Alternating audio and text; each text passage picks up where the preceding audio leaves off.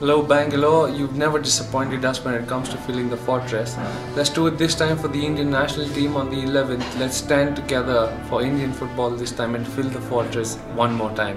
The tickets are available on kyazoonga.com. Come out in large numbers and back the blue.